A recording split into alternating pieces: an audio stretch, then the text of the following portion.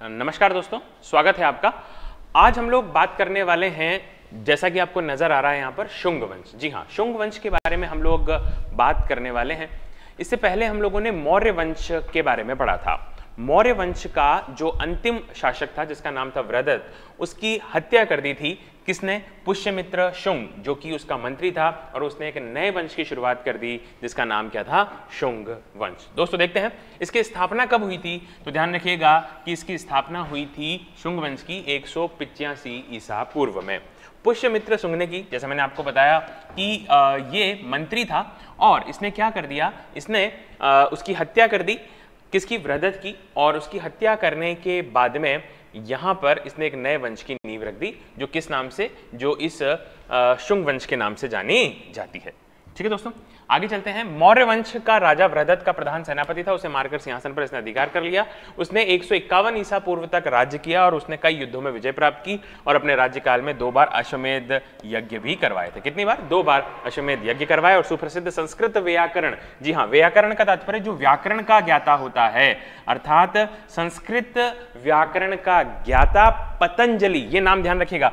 पतंजलि अश्वमेध यज्ञ में उसका पुरोहित था। तो पतंजलि जो है ना, वो किसके शासनकाल से संबंधित है? तो नाम ध्यान रख लीजिएगा, वो शुंग वंश के शासक पुष्यमित्र शुंग के शासनकाल से संबंधित है। पुष्यमित्र के बाद शुंग वंश में जो प्रमुख राजा हुए, उनके नाम थे अग्निमित्र, ज्येष्ठ मित्र भद्रक, भागवत और देवभूति। देवभूति को उसके अमात्य वासुदेव ने लगभग तिहत्तर ईसा पूर्व में सिंहासन से उतार दिया। अब दोस्तों क्या हुआ कि यहाँ पर ये जो देवभूति था, है ना, इस देवभूति को क्या किया? अमात्य। अमात्य का मतलब क्या होता है दोस्तों? ध्यान रखिएगा, जो मंत्री होता है ना, प्रधानमंत्री जो होता है, वो मंत्री, जिसका नाम क्या था? वासुदेव। उसने यहाँ से सिंहासन पर से उसको हटा दिया था। ये बात आपको ध्यान में रखना है। ठीक है, कब? तिहत्तर ईसा पूर्व में। तो ये बात भी समझ में आ गई। ठीक है, आगे चलते हैं। आगे एक नए वंश की बात करते हैं, जिसका नाम है सातवाहन। वंश। सातवाहन वंश आंध्र गोदावरी और कृष्णा नदियों की घाटी में सिमुक नाम के एक व्यक्ति ने लगभग 60 ईसा पूर्व में सातवाहन वंश की नींव रखी। अब देखो दोस्तों, कहाँ की बात हो रही है? आंध्र क्षेत्र की, यानी गोदावरी और कृष्णा वाला जो क्षेत्र है, वहाँ की बात हो रही है। तो अब क्या हुआ? कृष्णा नदियों की घाटी में सिमुक नाम के व्यक्ति ने, किसने? सिमुक नाम का जो व्यक्ति था ना, उसने लगभग साठ ईसा पूर्व में सातवाहन वंश की नींव रखी थी। इसलिए इसको आंध्र और सातवाहन दोनों के नाम से जाना जाता है। तो ध्यान रखेंगे, सातवाहन वंश की स्थापना किसने करी थी? तो नाम ध्यान रख लेना, सी मु क, सिमुक ने। ठीक है दोस्तों? सी मु क, सिमुक ने सातवाहन वंश की स्थापना करी थी। ठीक है? आगे चलते हैं। अब क्या हुआ कि सिमुक का राज्यकाल सैंतीस ईसा पूर्व तक माना जाता है, उसके उपरांत शातकर्णी प्रथम ने सातवाहन वंश की शक्ति और सत्ता का विस्तार किया। शातकर्णी प्रथम ने अश्वमेध यज्ञ भी करवाया और संपूर्ण दक्षिण भारत पर अपनी सार्वभौम सत्ता स्थापित की। उसकी राजधानी गोदावरी नदी के तट पर स्थित प्रतिष्ठान, जो वर्तमान में आधुनिक पेठक नाम की नगरी थी, उसको इसने क्या बनाया था? राजधानी बनाया था। तो दोस्तों, उसके बाद शिमुख के बाद में जो शातकर्णी था, उसने शासन व्यवस्था संभाली और उसके बाद में इसने क्या कर दिया, जो वर्तमान में पेठन नाम की जगह है, उसको अपनी क्या बनाया, राजधानी, जो उस समय में प्रतिष्ठान के नाम से जाना जाता था। सातकर्णी प्रथम की मृत्यु के बाद शकों के आक्रमण के फलस्वरूप सातवाहनों की शक्ति में हास होने लगा। तो अब जो शक थे, शकवंशी, उन्होंने क्या कर दिया? इन पर आक्रमण कर दिया, जिसकी वजह से इनकी शक्ति क्या होने लगी? कमज़ोर होने लगी। महाराष्ट्र में शकवंश का शासन आरंभ हुआ, जो पश्चिमी क्षत्र वंश कहा जाता है। अब जो शकवंश है, उसका जो है ना, शासन व्यवस्था यहाँ पर शुरू हो जाती है, जिसको शत्रप वंश के नाम से भी जाना गया है। ये बात आप ध्यान रख लीजिएगा। सातवाहन वंश के तेईसवें शासक गौतमी पुत्र शातकर्णी ने पश्चिमी क्षत्रपों की शक्ति को नष्ट करके पुनः अपने वंश की, को शक्ति स्थापित किया था। अब शातकर्णी ने पुनः वापस से ज़ोर लगाया और उसके बाद में क्या हुआ? गौतमी पूर्ण शातकर्णी ने। और उसके बाद में क्या हुआ? वापस से इन्होंने जो है अपनी समृद्धि और सत्ता जो है स्थापित की थी। वशिष्ठि पुत्र पुलमोवी ने उज्जैन के शक महाक्षत्र पर रुद्रादमन प्रथम की पुत्री से विवाह किया। रुद्रादमन ने उससे वह समस्त भूभाग छीन लिया, जिससे उसने पश्चिमी क्षत्रपों को पराजित करके जीता था।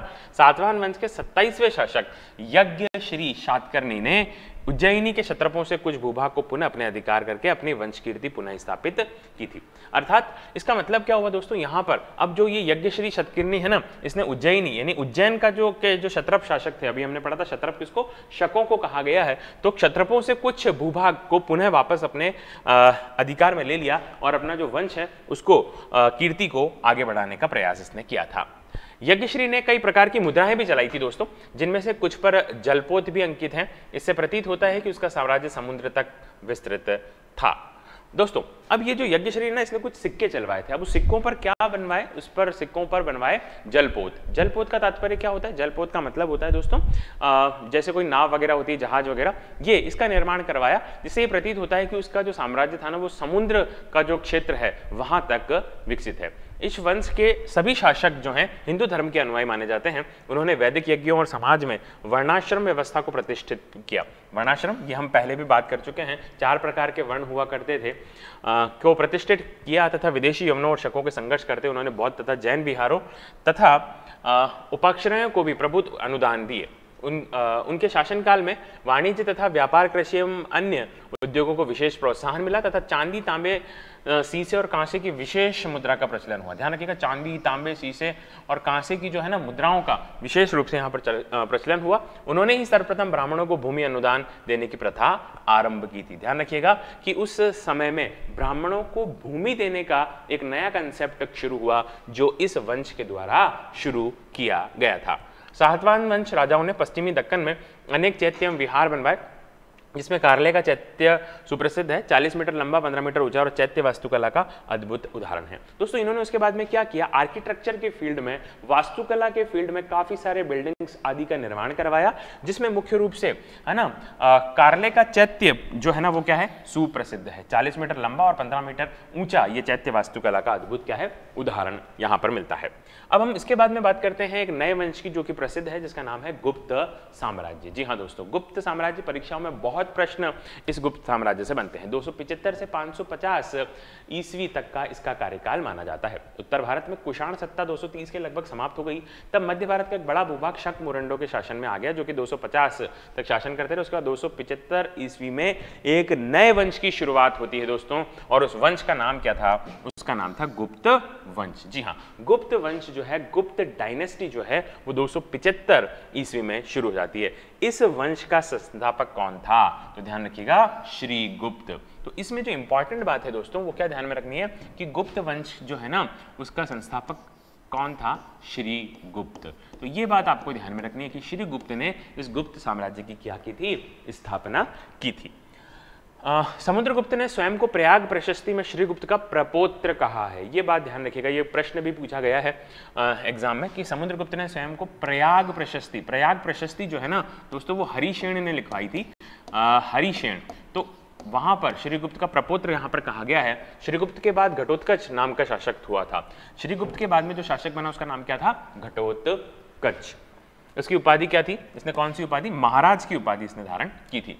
यहाँ से इंपॉर्टेंट शासक शुरू होते हैं गुप्त वंश के, जिनमें सबसे पहला नाम किसका आता है? सबसे पहला नाम आता है चंद्रगुप्त प्रथम का। ध्यान रखिएगा, चंद्रगुप्त प्रथम।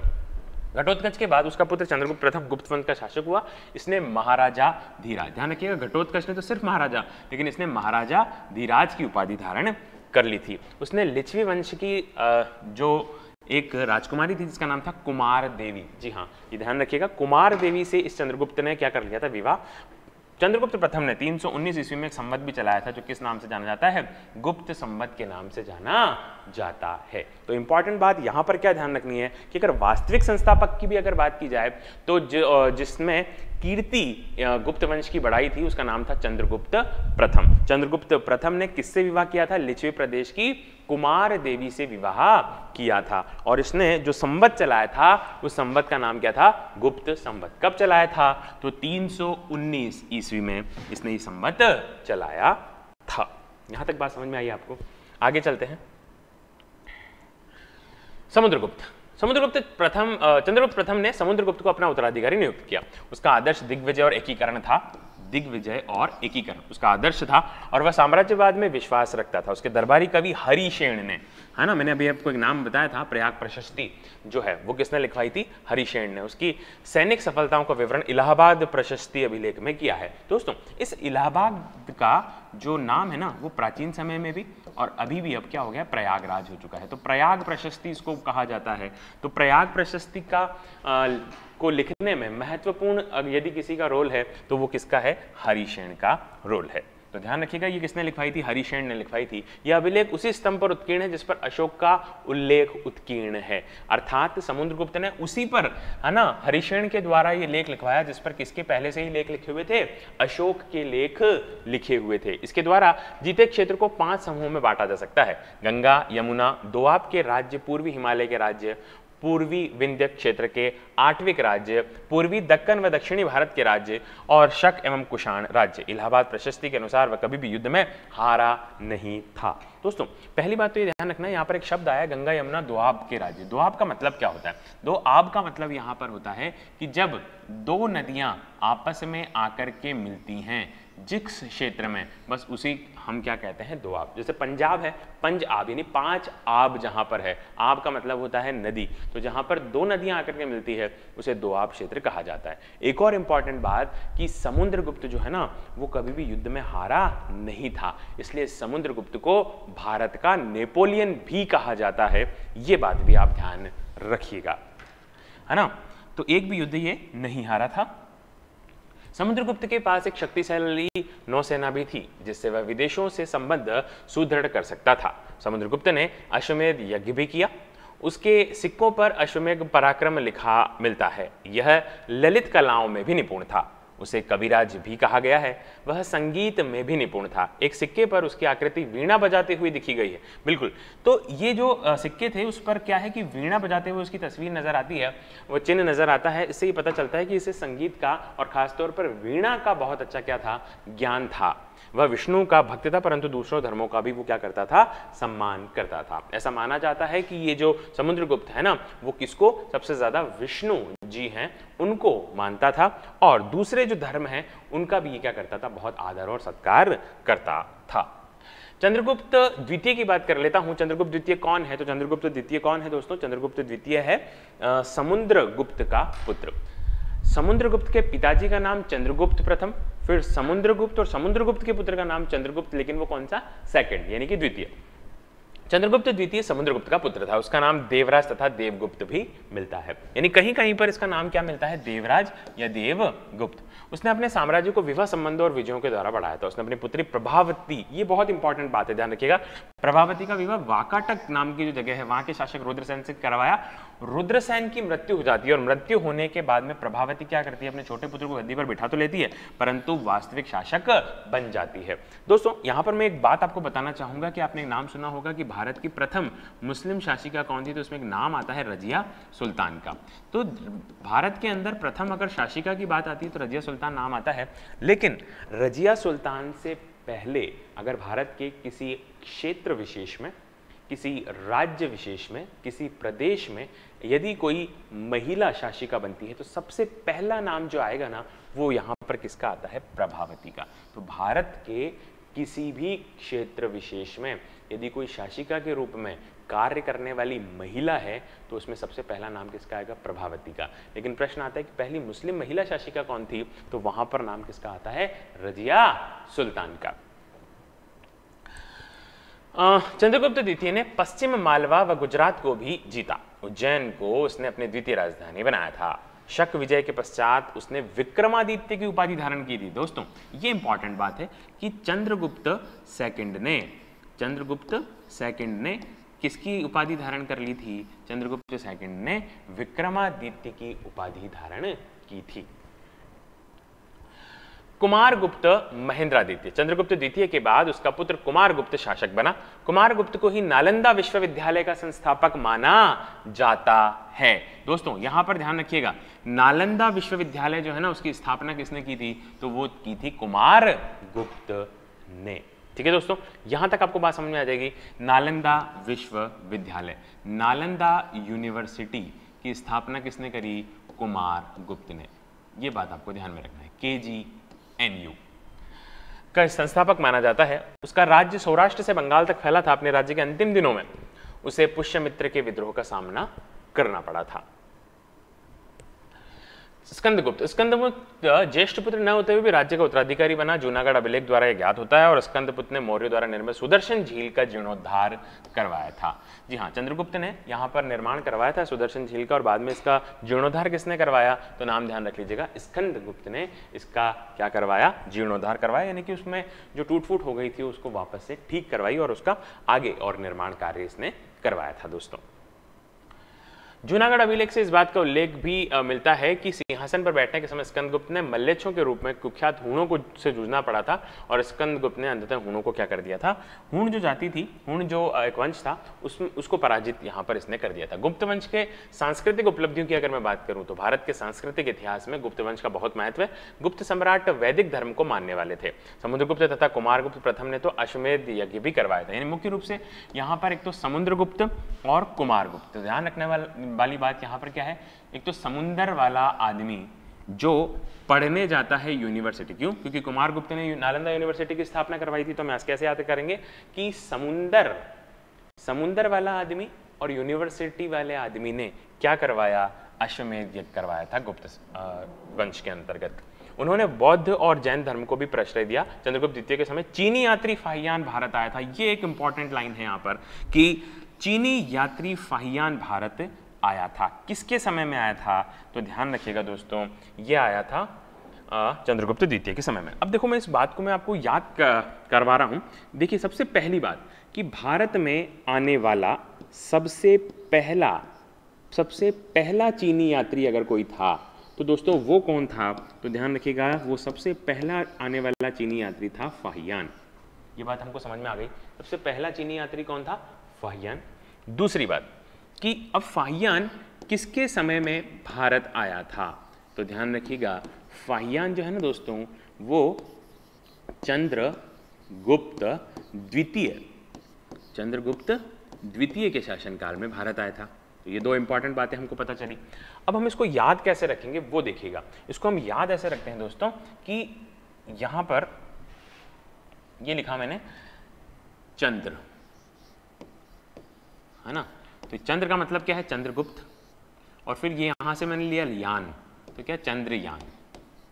और ये ध्यान रखिएगा सेकंड अब इस, इससे आपको याद हो जाएगा, चंद्रयान सेकंड ये ध्यान रखना है। यानी चंद्रगुप्त सेकंड के समय में भारत आया था कौन? यान। और यान का मतलब कौन? यान का मतलब फाहियान। तो चंद्रगुप्त सेकंड है ना?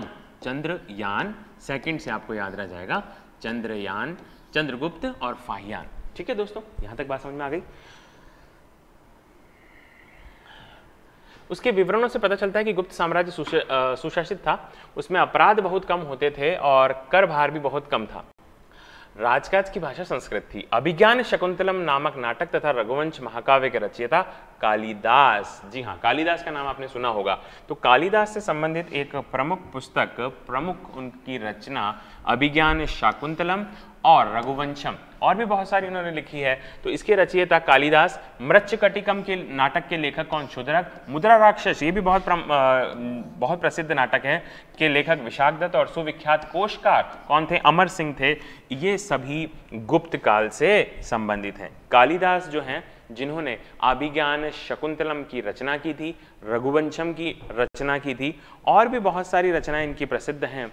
और उसके अलावा मृच्छकटिकम नाम का एक बहुत अच्छा नाटक है, जो शुद्रक ने लिखा था, मुद्रा राक्षस, बहुत बार पूछा जाता है, मुद्रा राक्षस, किसने? विशाख दत्त और कोशकार कौन थे? अमर सिंह जो थे, वो कोशकार थे। ये सभी किससे संबंधित हैं? तो ये सभी संबंधित हैं किससे? ये सभी संबंधित हैं इस वंश से, यानी कि गुप्त वंश से। तो अभी अभी अपन ने क्या नाम पढ़े दोस्तों? अभी अभी हमने जो नाम पढ़े, वापस एक बार रिवाइज करा रहा हूँ मैं आपको कि भैया ये जो गुप्त वंश है ना, इस गुप्त वंश की अगर मैं बात करूँ तो इसमें सबसे पहला नाम हमने क्या पढ़ा? कालिदास, जो इसी वंश से संबंधित है। एक हमने क्या नाम पढ़ा? सुद्रक। एक हमने क्या नाम पढ़ा? सुद्रक। एक हमने नाम पढ़ा? विशाख दत्त। विशाख दत्त। और एक नाम और जो आपको ध्यान में रखना है और वो क्या था? अमर सिंह। तो ये जो प्रमुख लोग हैं, वो इस समय में हुआ करते थे। किस समय में? वो ये सभी गुप्त वंश के अंतर्गत आते हैं। रामायण, महाभारत तथा मनु संहिता अपने वर्तमान रूप में गुप्त काल में ही सामने आई थी। दोस्तों, ध्यान रखिएगा कि रामायण, महाभारत और मनु संहिता जो है ना, वो जो वर्तमान में हम लोग देखते हैं, वो गुप्त काल में ही सामने आई थी। अच्छा महाभारत जो है ना, इसका जो नाम है, इस महाभारत का जो प्राचीन नाम आप बोल सकते हैं या एक्चुअल नाम आप बोल सकते हैं, वो क्या था? जय संहिता। ठीक है? ये बात आपको ध्यान में रखनी है। गुप्त काल में आर्यभट्ट वारामीर तथा ब्रह्मगुप्त ने भी गणित तथा ज्योतिर्विज्ञान के विकास में बहुत बड़ा योगदान दिया। उसके अलावा और प्रमुख व्यक्ति कौन? एक तो आर्यभट्ट, एक वारामिहिर और एक ब्रह्मगुप्त। कौन कौन दोस्तों? एक आपको और नाम ध्यान रखना है आर्य भट्ट का। एक आपको नाम ध्यान रखना है किसका? एक आपको वराहमिहिर का। और उसके अलावा एक नाम और आपको ध्यान में रखना है ब्रह्म गुप्त का। ये सभी व्यक्ति भी किससे संबंधित? इस गुप्त वंश से ही संबंधित थे। बहुत बड़ा योगदान दिया और इसी काल में दशमलव प्रणाली का आविष्कार भी माना जाता है। जी हाँ ऐसा कहा जाता है कि जो दशमलव प्रणाली है ना दोस्तों, ये किसने शुरू की थी? तो ये शुरू की थी आर्य भट्ट ने। जी हाँ दोस्तों तो इसका आविष्कार, यानी कि दशमलव प्रणाली का जो आविष्कार है ना, वो किसने किया था? वो किया था आर्य भट्ट ने, जो बाद में अरबों के माध्यम से यूरोप तक पहुँच गया था। उस काल की वास्तुकला, चित्रकला तथा धातुकला के प्रमाण झांसी और कानपुर के अवशेषों अजंता की कुछ गुफाओं, दिल्ली में स्थित लोह स्तंभ नालंदा में 80 फुट ऊँची बुद्ध की तांबे की मूर्ति और सुल्तानगंज स्थित साढ़े सात फुट ऊँची बुद्ध की प्रतिमा से मिलते हैं। जी, इस गुप्त काल में बहुत सारे आपको वास्तुकला के उदाहरण मिलेंगे, जिसमें जैसे यहाँ पर लिखा हुआ है कि झांसी धातु कला के झांसी और कानपुर में बहुत सारे उदाहरण मिलते हैं, अजंता में मिलते हैं, उसके अलावा आपको दिल्ली में मिलते हैं, नालंदा में बुद्ध की बहुत अच्छी मूर्ति, बहुत बड़ी मूर्ति, सुल्तानगंज से साढ़े सात फुट ऊँची बुद्ध की तांबे की मूर्ति जो है यहाँ पर मिलती है, ये वास्तुकला के बहुत सारे उदाहरण यहाँ पर मिल जाते हैं। गुप्तकालीन समाज की अगर बात करें दोस्तों तो गुप्तकालीन समाज परंपरागत रूप से चार वर्णों में विभक्त था। चार वर्ण, ये हम पहले भी देख चुके हैं, चार वर्ण ब्राह्मण क्षत्रिय शूद्र और वैश्य। ये चार जो है ना यहाँ पर आ, समाज में वर्ण हुआ करते थे। समाज में ब्राह्मणों का स्थान सबसे ऊँचा माना जाता है। उनके कर्तव्य माने जाते थे। अध्ययन अध्यापन यज्ञ और दान क्षत्रियों का कर्तव्य राष्ट्र की रक्षा वैश्य का कार्य व्यापार और वाणिज्य तथा शूद्र सेवा प्रदाता के रूप में माने जाते थे। गुप्त काल में जातियों के विषय में व्यवसाय का बंधन शिथिल होने लगा था फिर भी वर्णों का आधार गुण और कर्म न होकर जन्म ही था। स्त्रियों का समाज में महत्वपूर्ण स्थान था। धार्मिक कृतियों में पति के साथ पत्नी की उपस्थिति अनिवार्य थी। जी हाँ ये जैसे कि कोई यज्ञ होना है अनुष्ठान होना है या फिर आ, कोई हवन होना है तो वहाँ पर केवल और केवल पुरुष नहीं बल्कि उसके साथ में जो उसकी सह जीवन संगिनी है उसका होना भी उसमें बहुत ज़्यादा ज़रूरी उस समय में माना जाता था। स्त्री शिक्षा का प्रचलन भी था, पर्दा प्रथा नहीं थी दोस्तों। उस समय आठ प्रकार के विवाहों का प्रचलन भी था अलग अलग प्रकार के। स्वयंवर प्रथा भी विद्यमान थी। गुप्त काल में मिश्रित जातियाँ मुद्रा शक्तिकरण अब शट अब षट पार्श्ववादी उग्र थी। कायस्थ गुप्त युग में एक वर्ग था, परंतु बाद में एक जाति के रूप में अस्तित्व में आ गया। गुप्तकालीन साहित्य में नारी का आदर्श चित्रण है। पुत्र के अभाव में पुरुष की संपत्ति पर उसकी पत्नी का प्रथम अधिकार माना गया। यानी उस जमाने में, दोस्तों, स्त्रियों के लिए बहुत सम्मानजनक विषय हुआ करता था। घूंघट की प्रथा उस समय में नहीं हुआ करती थी। और स्वयंवर स्वयंवर आपने नाम सुना होगा। स्वयंवर जिसमें महिला जो है या जो बालिका है, जो राजकुमारी है, वो स्वयं अपने लिए वर जो है चुन सकती थी। आ, बहुत सारी स्वतंत्रताएँ उस समय उनको मिली हुई थी। अगर मान लो विवाह हो जाता और यदि पुत्र नहीं होता तो पति के बाद में जो संपत्ति होती है उस पर सबसे पहला अधिकार किसका माना जाता था? सबसे पहला अधिकार उसकी पत्नी का ही माना जाता था दोस्तों। अब बात करते हैं वर्धन वंश की। पुष्यभूति वंश भी इसे कहा जाता है।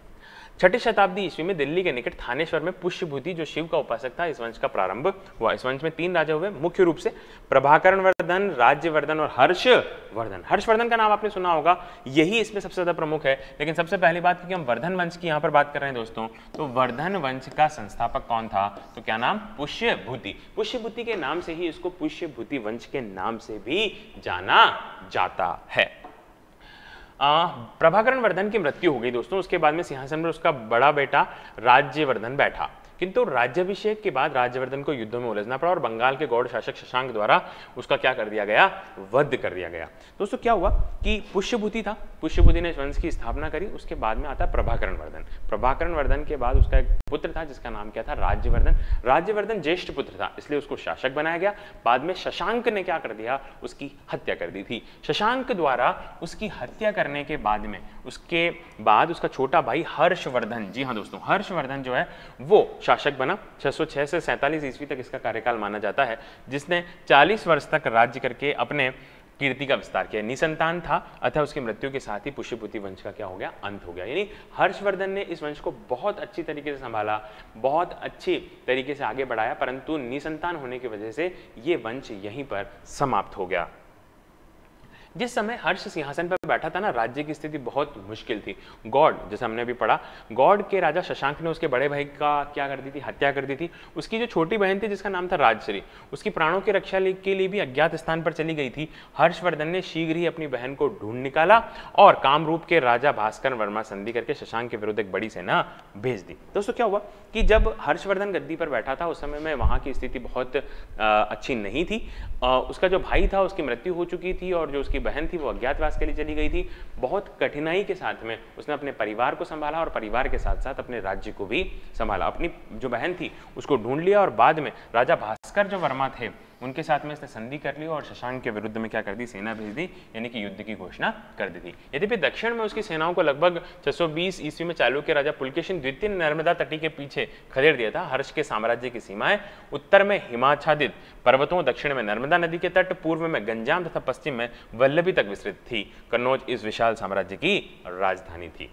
ये बात आपको थोड़ी सी ध्यान में रखनी है। हर्ष ने महाराजा धीराज की उपाधि धारण की थी, दोस्तों। ये बात ध्यान रख लीजिएगा महाराजा धीराज की उपाधि इसने धारण की थी। वह शिवी और वह शिव और सूर्य की उपासना करता था। बाद में इसका झुकाव महायान बौद्ध धर्म की ओर अधिक हो गया। वह प्रति पाँचवें वर्ष प्रयाग में गंगा और यमुना के संगम पर एक महोत्सव करके दान आदि कर देता था। जी हाँ दोस्तों, ये कहा जाता है कि पाँच वर्ष जो है ना, प्रत्येक पाँच वर्ष में क्या करता था, ये ना गंगा और यमुना के संगम पर महोत्सव करके दान देने का काम करता था। यानी अपनी सारी संपत्ति दान कर दिया करता था।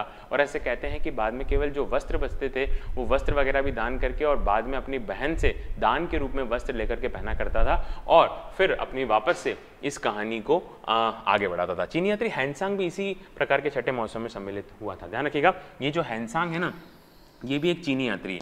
और ये किसके समय में आया? तो आपको ध्यान में रखना है दोस्तों, ये हर्षवर्धन के समय में आया था। तो चीनी यात्री हैंडसांग किसके समय में आया? तो ये आया हर्षवर्धन के समय में। इसको याद कैसे रखेंगे?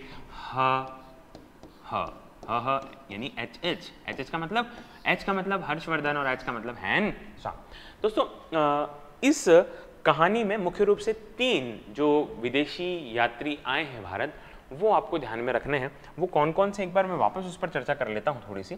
एक दोस्तों हमने एक पुस्तक पढ़ी थी, पुस्तक के बारे में पढ़ा था जिसका नाम था इंडिका तो ध्यान रखिएगा कि एक व्यक्ति था जिसका नाम क्या था? मैगस्थनीज। है ना? मैगस्थनीज। ये मैगस्थनीज जो है ना, वो किसके काल में आया था? तो मैगस्थनीज जो है ना दोस्तों, वो आया था मौर्य काल में। किसके काल में? मौर्य काल में। ठीक है? उसके बाद में हमने फाइयान के बारे में पढ़ा था। है ना? फाइयान किसमें आया था? चंद्रगुप्त सेकेंड के समय में। और एक और नाम हम क्या पढ़ रहे हैं? एच एच यानी कि हर्षवर्धन के समय में कौन आया? तो हर्षवर्धन के समय में हैंसांग चीनी यात्री जो है वो भारत आया था। ठीक है दोस्तों? तो आप इसको ऐसे याद कर लीजिए। M M F C H H ठीक है? तो दोस्तों, यहाँ तक आप लोगों को उम्मीद है, समझ में आया होगा। इस चैनल को लाइक, सब्सक्राइब और शेयर करना बिल्कुल भी मत भूलिएगा। काफ़ी प्रयास मैंने किया है कि मैं आप लोगों को ट्रिक्स और बहुत आसान शब्दों में इन सभी चीज़ों को याद करवा पाऊँ। आज के लिए फ़िलहाल इतना ही। जय हिंद, जय भारत।